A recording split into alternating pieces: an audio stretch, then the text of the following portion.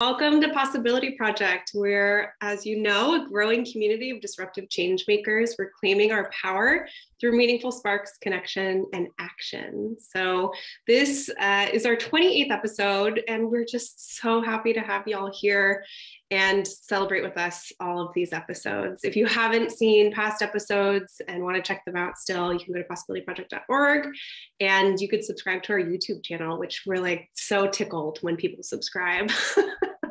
um, mm-hmm. and get each each notification um, for each episode when it comes out.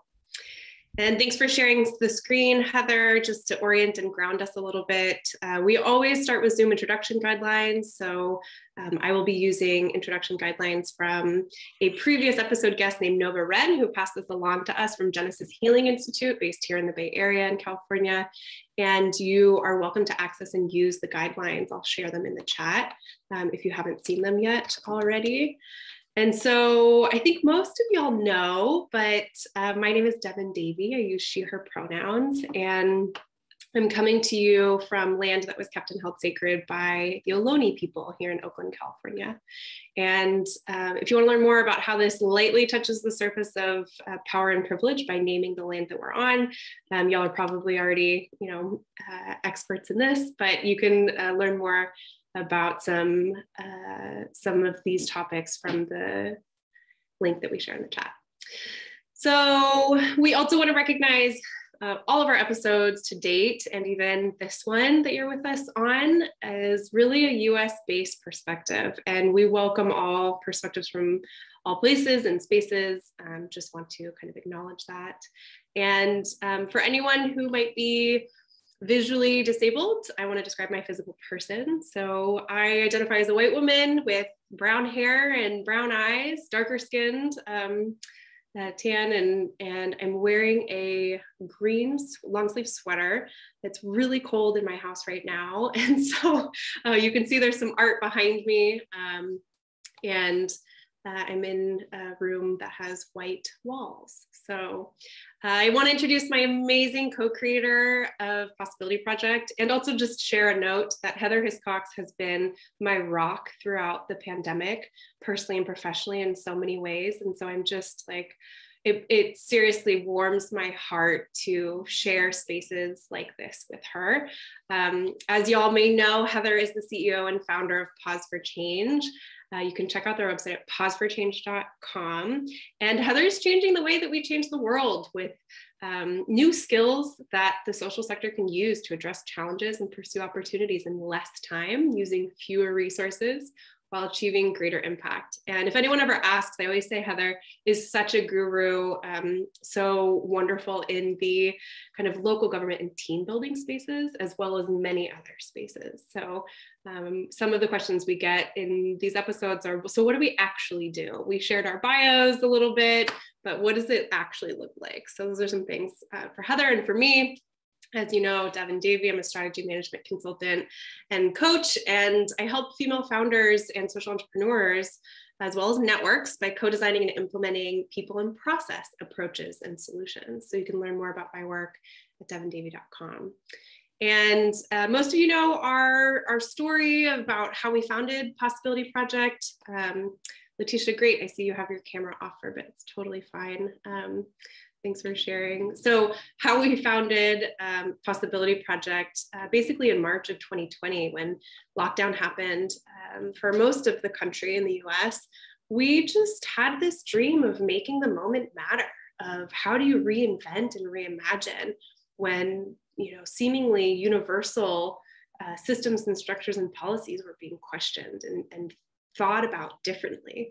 So we wanted to soulfully scale the conversations that we were having one on one with leaders of color across the country to open up what we were learning to our network and beyond. And so that's really transformed I think the way these conversations have transformed the way that that I operate, and I won't speak for Heather, but I know um, how we center equity in anything that we touch, whether it's design, funding, consulting, um, just you know, higher education, um, public education, is is really important.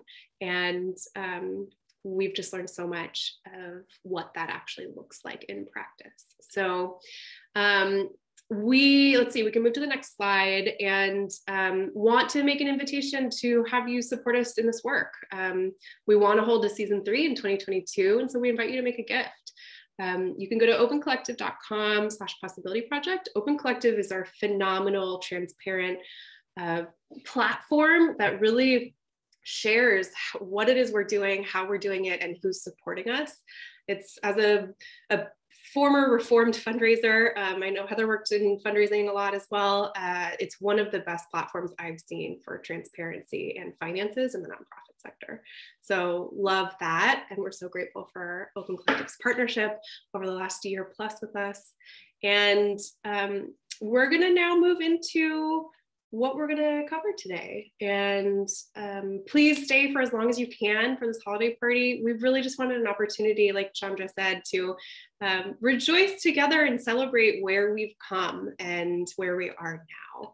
A lot of the work we do is individual uh, healing and learning, but it, it leads to collective change and um, we couldn't celebrate with a more wonderful group of folks like you all. So we're going to talk about our agenda today, and it's going to be just kind of a quick intros, which we usually do, get to know each other a little bit more, talk about what we're grateful for over this last year uh, with Possibility Project, and then we want to talk about disruption. What are your plans for disruption?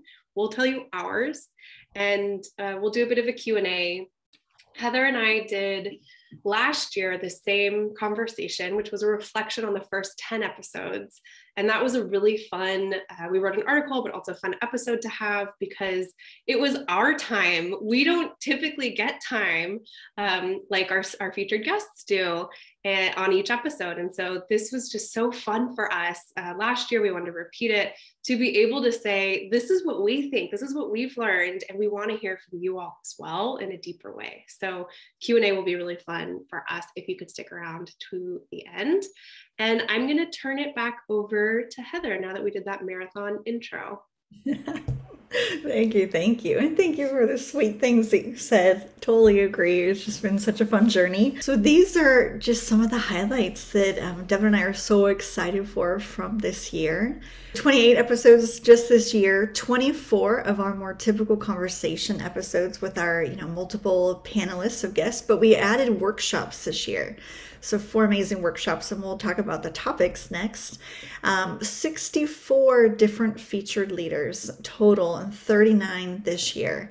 And that's just been extraordinary because all of our speakers are 100% volunteers. And they're just so phenomenal. They're so amazing, such leaders in the sector. And it's just such a gift every time anyone says yes to us because it's just so gracious and it's such an honor to have them. We have about 2,000 people that get our regular emails that we consider part of our community. 742 people as of yesterday in LinkedIn in the group, so please join. And then I was looking around on YouTube, and um, just this year, over 1,600 views of the recording. So if people can't join live, we always encourage them watch it again and again. You know, watch, listen while you're on a walk, do whatever you're going to do to engage with the content. So that's exciting. And then in Open Collective, we raised about $3,500. Um, and we definitely want to keep that going to support these efforts. These were all the different themes that we had um, this year. So we had the workshop on the limitations of empathy most recently with Michael O'Brien, which was just amazing. We focused on fundraising assets with Mallory Erickson a workshop on colonial healing with Nova Wren, and then the workshop on gut checks with Georgia A from Greater Good Studio. So those were such a new and welcome addition, and we're definitely going to keep up the workshops in 2022, try to have them quarterly. And those are really focused on taking action. What can we do that's not just inspiration, but how do we apply this directly to our work immediately? And how do we really shift our thinking and behaviors? And then the other topics you can see there you know, what does it look like when philanthropy ends? What could be possible? Um, impacts of fundraising and philanthropy on Black women, shifting from pain profiting to power sharing. We're going to keep having lots of fun discussions and lots of different topics. Um, so we would love in the chat, and we're always asking our community, and that's where a lot of our ideas come from What else would you like to see? What other ideas for topics? Who else do you think would be amazing speakers? We would love for you to pop those in the chat and share any ideas at any time. Introduce us to phenomenal people that you really enjoy and appreciate, and so we can bring them to the community and share more widely. We would love it. So thanks for that. Um, and what was interesting also is in the YouTube, uh, when I was looking at YouTube, the number one episode that got the most views, 228 views, um, was our topic around designing equitable futures with Katie Krummeck and Chris Rudd. And so that was really exciting that people were really intrigued by that.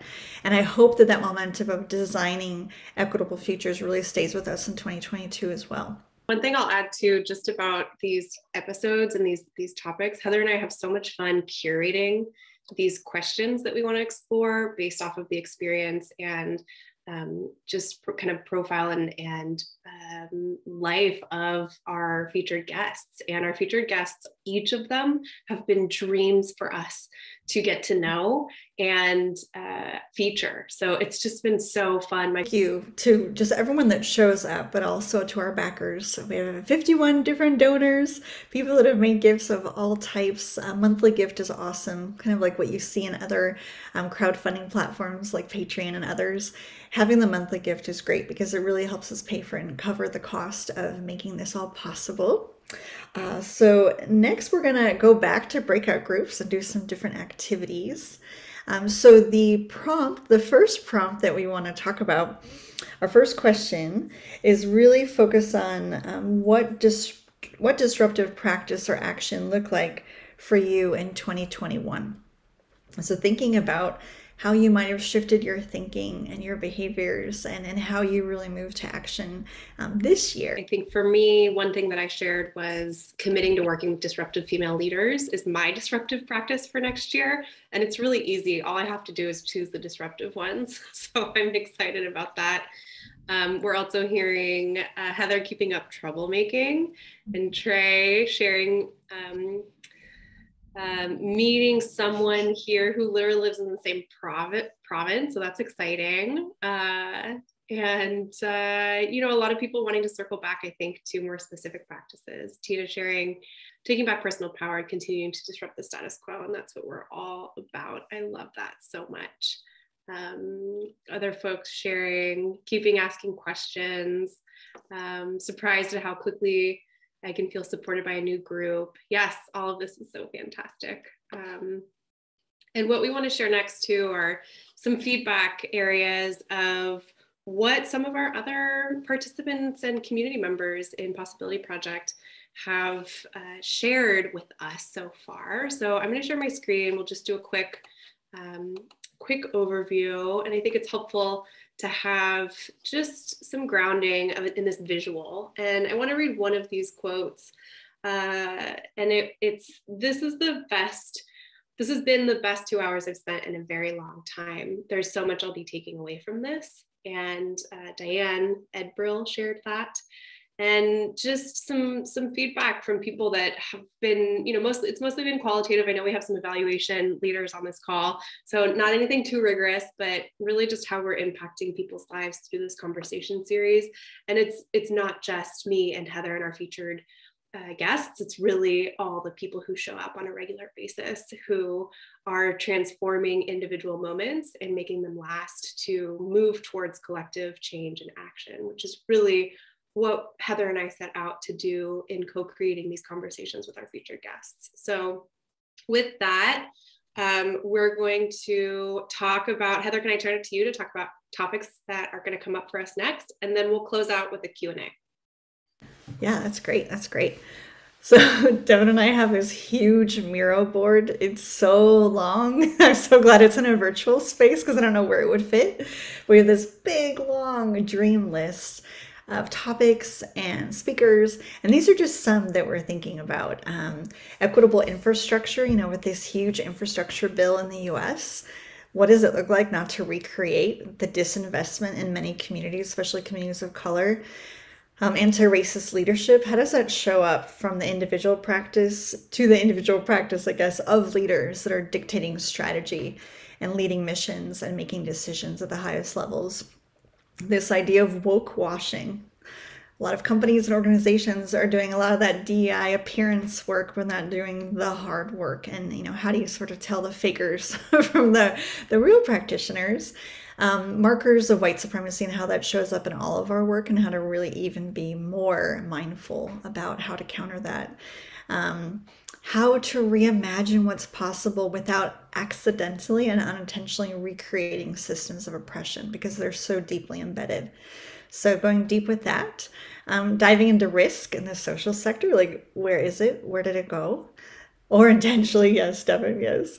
Um, getting to our creative power, that makes me think of something that came in our, our group is like having creative confidence and what that looks like to get back to like our playfulness and our and intuition and, and creative powers in order to create more change in our organizations um, designing for abundance, looking at network and ecosystem building and investment, because that is really poorly invested in right now. And then code switching.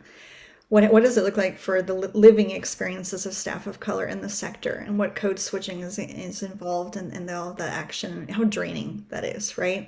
So these are just some of the topics. So any again any other ideas for topics or beautiful humans that you think we should feature we absolutely want to know um, who those folks might be. So, yeah, that's what we're thinking about.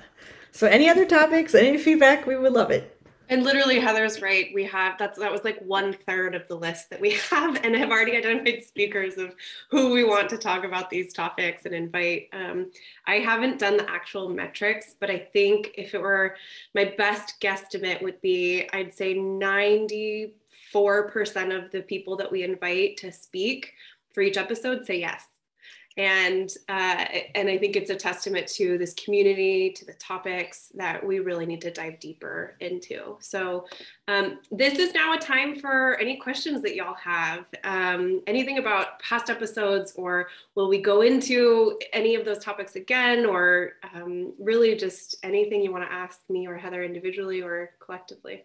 It's about your geographic reach of the group um, when I first, I, have mentioned that I'm new. Um, Mario had recommended, so I've only attended one session. And when I initially entered, I thought, oh, that's a California group. They're doing the cool stuff. um, but clearly, you're not just California. You're not California. So I was just curious, anything you, you could share about kind of where folks are coming from. That's great. Devin, you want to answer that? Yeah, Heather's based in Tucson and I'm based in Oakland. And so we have our networks here and we also have a national network of folks. So most of our speakers, our featured guests, are from the South, Chicago, the East Coast, the Bay Area, Arizona, the Pacific Northwest. Um, we do have a dream of having a topic around um, kind of listening, looking at best practices from rural communities. And so that would be Midwest, the South, um, anywhere else across the country. But um, yeah, I'd say folks are, our 2000 folks are all over. Thanks for asking, Angela. Mm-hmm. Yeah, and we do say that we do um, talk mostly with the US based perspective. We have a couple folks that have joined from the UK, um, but most of the folks that show up yeah, our U.S. Uh, North America base, but primarily in the United States. Canada and New Zealand too is also um, a higher representation out of outside the U.S. Yeah. I have found workshops where you're thinking about you're doing the power analysis and it's shifting, you know, instead of thinking, oh, we need to get a senator in here, we need to get someone from the city in here to think about who who has powerful stories so thinking about the youth to incorporate into a project and mm. invite them into problem solving or coming up with an approach a different approach mm. so almost having that forced pressure of like you're thinking with your practitioner hat who is missing from from this picture mm-hmm.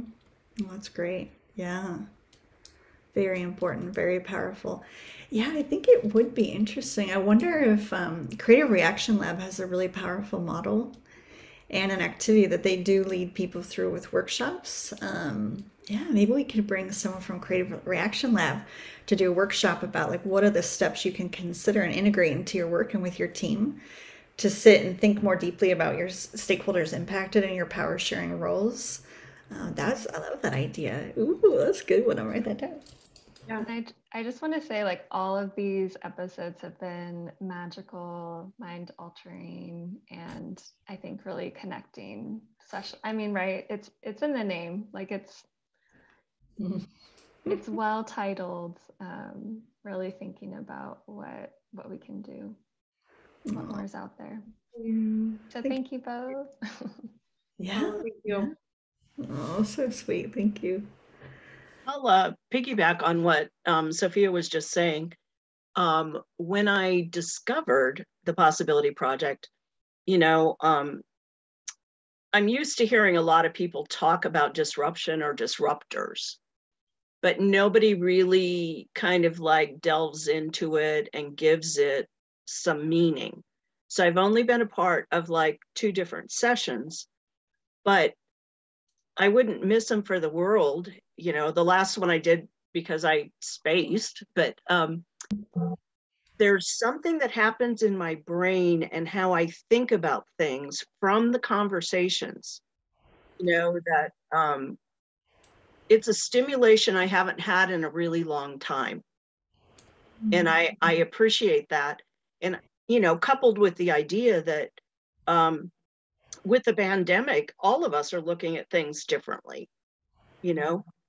Um, but you've given some shape and some conversation instead of just the term or throwing it out, you know, disruption or disruptors.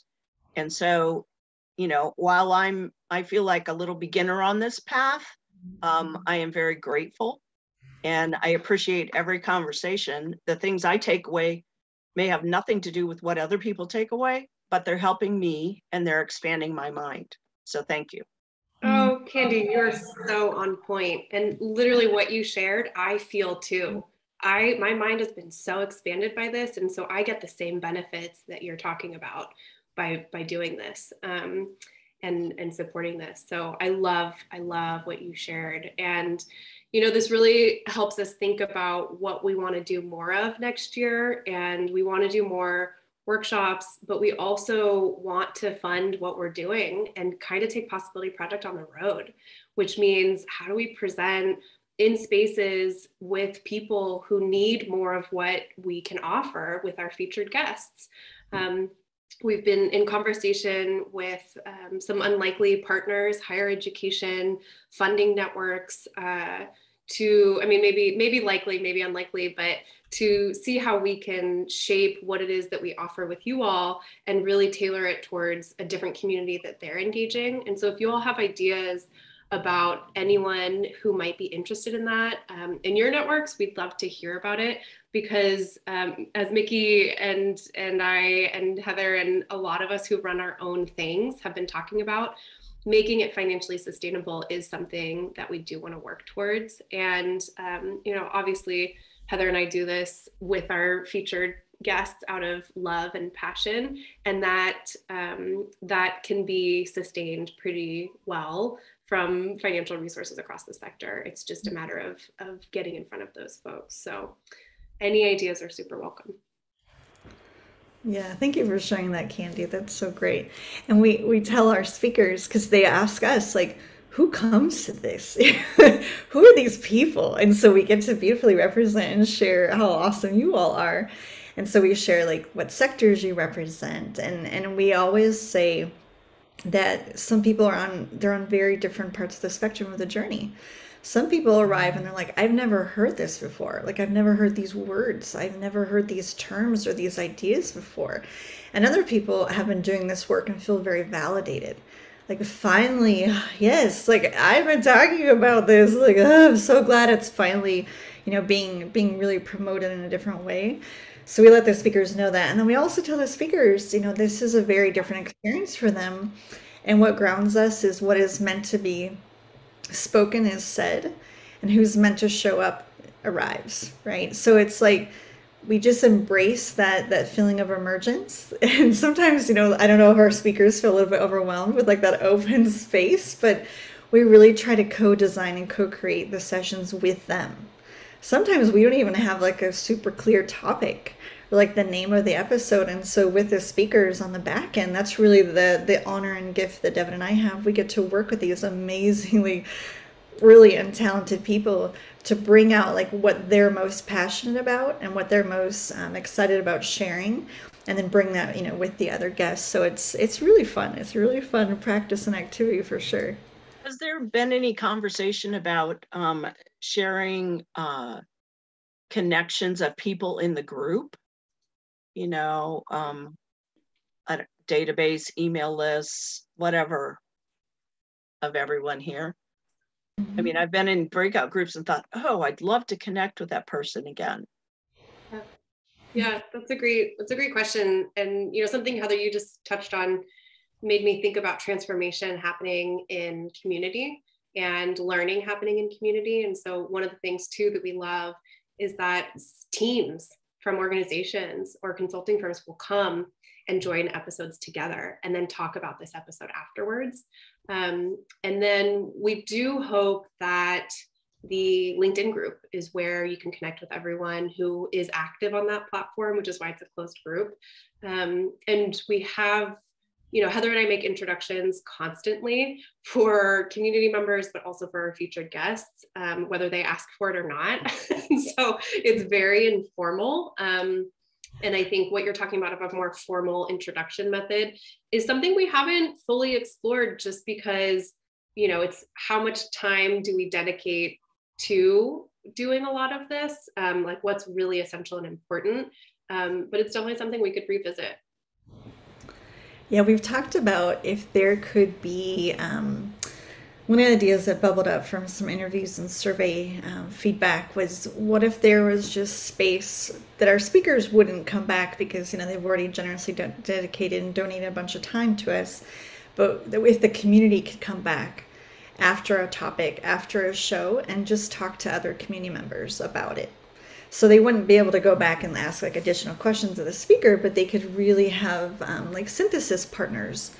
People that they could help integrate the thinking and learning with and, and talk about you know other people's perspectives and how they respond to what our speakers have shared. So that is an idea that we have had of you know maybe a week after something where it's still fresh you could come back and have that experience. So we might run some uh, run some experiments to try that and see how many people would show up and if that if that adds value um, if it helps uh, create space for connections because we really see this as a container and the container is super amorphous, right? There's like no boundaries. We can try so many different things.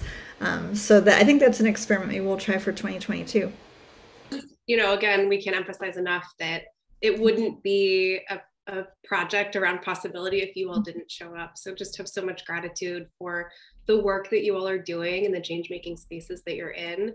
And um, we want to be a resource for you in any way that we can. Um, so please, you know, stay in touch, uh, be active on LinkedIn and follow what's happening next year and inform what it is that you want to see happen. Give us ideas and prompts and questions and um, really just thank you from the bottom of our hearts and um, really wishing you a wonderful holiday season ahead and some rest and recovery because gosh we need it there is so much that we need to do right now in taking care of ourselves and letting go of all the hard work uh, that we've been doing for the last two plus years.